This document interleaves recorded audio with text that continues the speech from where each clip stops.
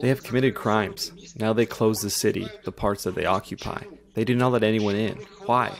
To hide the evidence of crimes.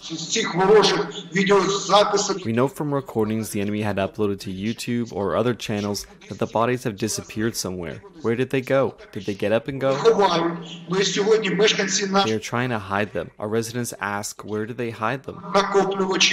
They collect the bodies. There are three scenarios that they have deployed. Our intelligence have confirmed today that 13 mobile crematoria have arrived in the city and are being prepared to get rid of the evidence of war crimes committed by the Russian Federation in the city.